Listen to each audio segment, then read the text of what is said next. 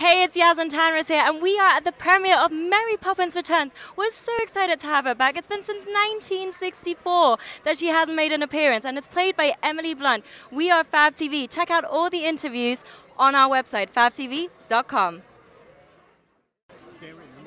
I think that it was just the um, sort of whole idea following that exquisite first film. How do you do that? And the only way we could approach this is to really do set it in another time.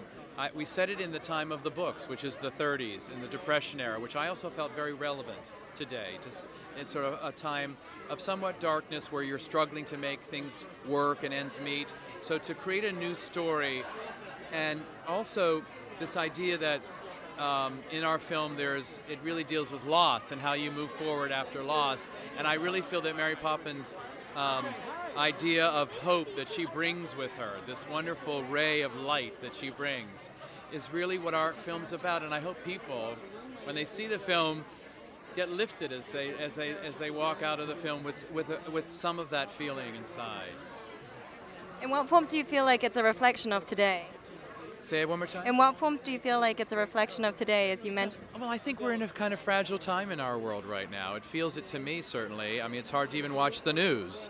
So I feel like we all need to depart into something, some kind of a place of joy, of some hope. And I feel like this film can do that for people.